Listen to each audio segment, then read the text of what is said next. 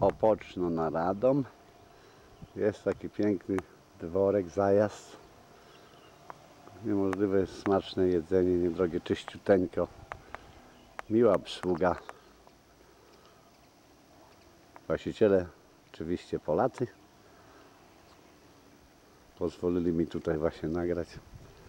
Ktokolwiek tu przejeżdżał, polecam każdemu. Ile razy jestem w kraju, tu przejeżdżam, zawsze korzystam z gościnności tego przybytku. Świeże rybki, wszelkiego typu jedzonka. Naprawdę warto.